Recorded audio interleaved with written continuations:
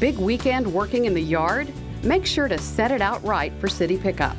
First, small stuff like leaves, grass, and shrub clippings go in paper yard bags. You can buy them at grocery and hardware stores. Just roll down the top of filled bags and place them at the curb on your weekly pickup day. There's no limit on the number of yard bags. Or, for a one time fee, buy a big green city yard cart. Fill it and roll it to the curb each week on your pickup day. For sticks and limbs that won't fit in closed yard bags or yard carts, bundle them with string or twine. Workers pick up these by hand, so keep bundles no more than 4 feet long and less than 40 pounds. But there's no limit on the number of bundles you can set out every week.